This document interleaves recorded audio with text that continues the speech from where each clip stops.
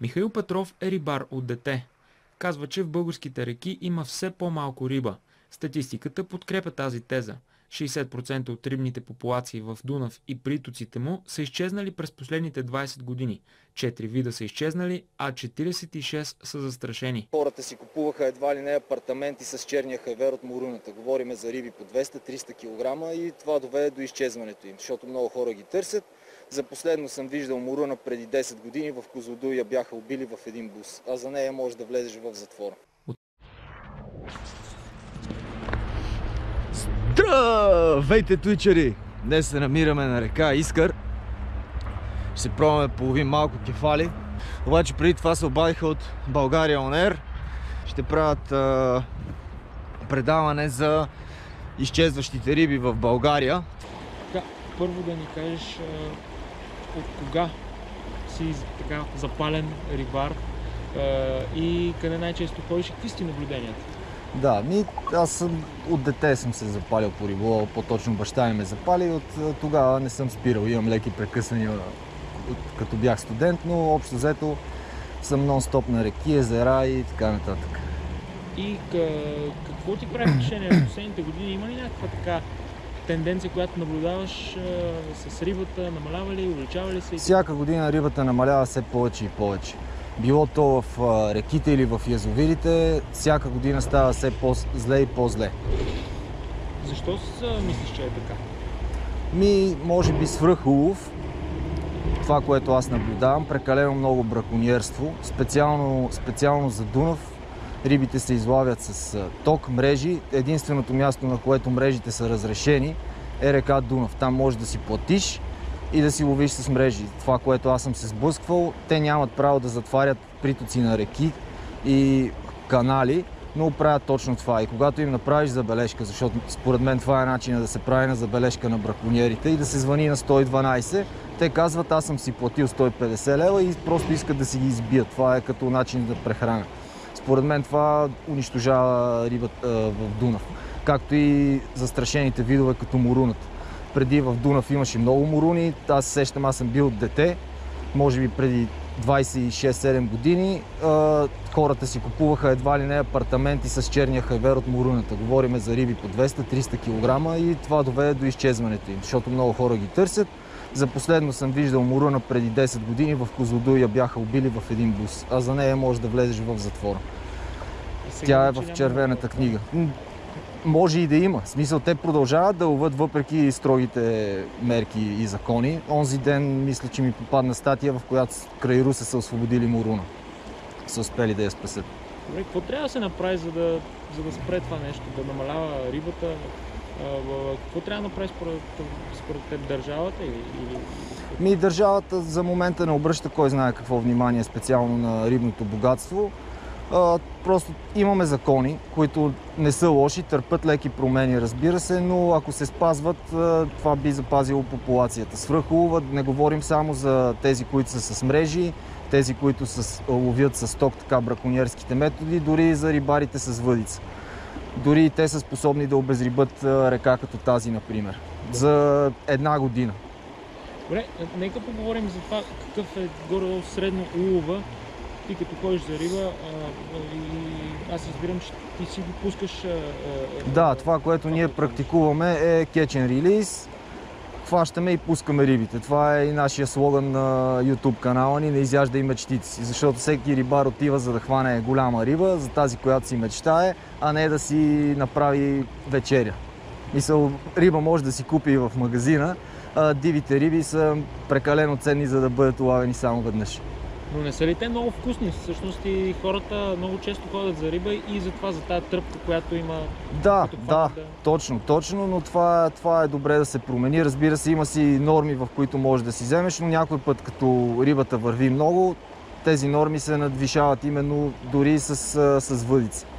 Например, ще ви дам пример за Гърция. Откакто влезнахме в Евросъюза, гърците не ядат речна риба, те си падат само по морската риба за по-малко от 10 години от река, в която никога не е ловено, която гъмжеше от риба, сега в момента река Ангиста е на положението, което е примерно река Искър.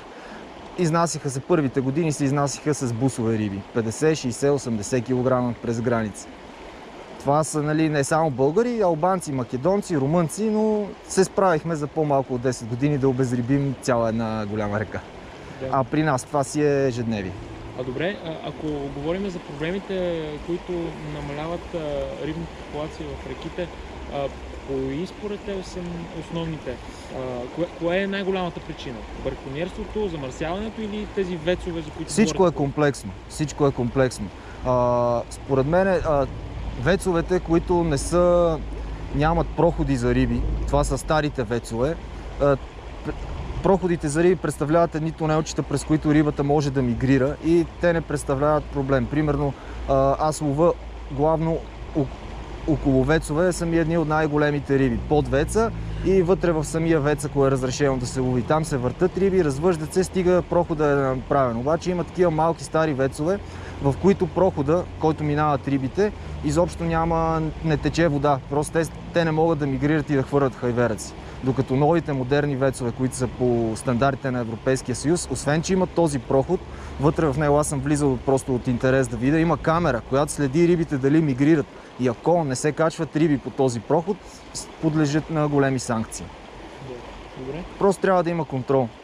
Контрол и може би промяна в законодателството, което да регламентира точно какво, на какви изисквания трябва да отговарят Да, да, да. защото В момента го няма това. Да, знам. да. И другото, което е замърсяването. Според мен замърсяването вреди повече отколкото вецовете, защото един завод, ако изсипе някакви химикали, които се случват доста често и реката умира и са и нужни примерно 10 години тя да се възстанови. Другото, което е са стените на язовирите.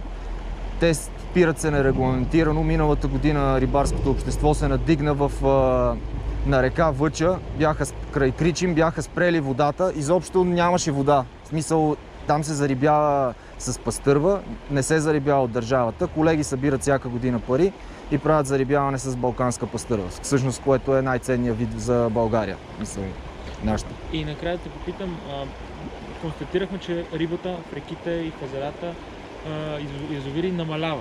А, Драстично намалява всяка година. Увеличават ли се обаче а, хората, които ходят а, на риболов?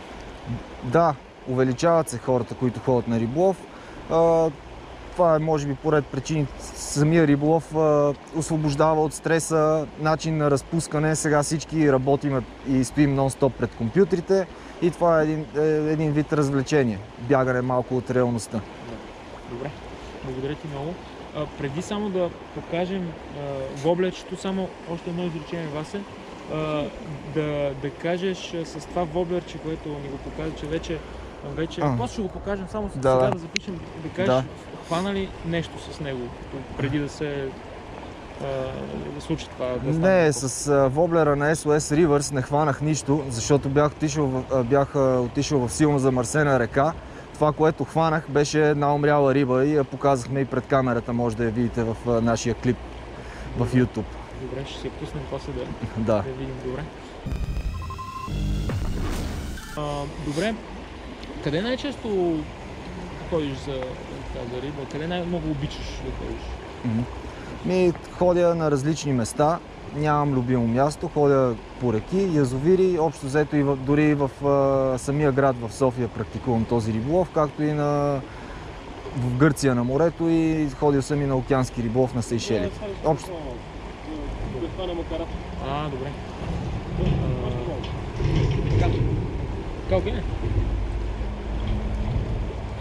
А, а, Добре, и така, това, което ти практикуваш винаги е да, да хващаш и да, и да, да пускаш. Да, много, много, ряд, много редки случаи взимам риба, когато се е закачила супер зле и, И няма шанс да оцелее. и няма това. шанс да оцелее. Но въпреки това имаме закон, защото за, специално за пастървата, ако някои колеги злоупотребяват с това, нали, тя няма да оцелее, всъщност рибата може да оцелее. Риба може да се взима специално балканска пастърва само събота и неделя. На някои реки с колеги сме издействали да е в изцяло в режим хвани пусни.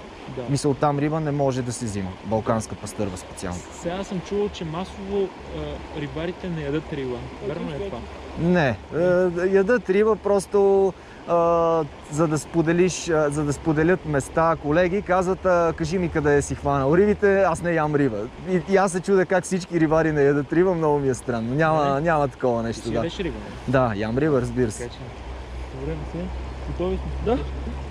Да. Метнем един-два пъти. Добре. Да, нещо може като не трябва. А, да направя ли с а, закачването на примамката от начало или... Добре.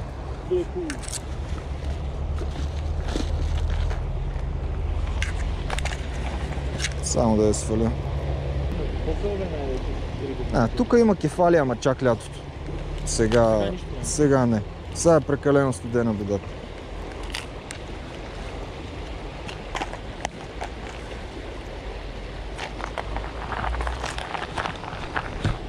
Добре, стават ли се повече тези, които практикуват тая а, хвани и пусни? Да, увеличават се. Увеличават се. Бавно, но се увеличават. До преди 5 години нямаше почти никой.